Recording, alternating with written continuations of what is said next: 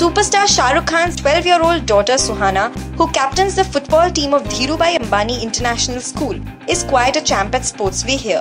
At a recently held inter-city football competition, she was the only one who scored a goal for her team. At a playground in Borivali, Mumbai, the little girl led her team to victory in a match. When reporters trained their camera and questions on her, Suhana simply charmed them as well. Like father, like daughter.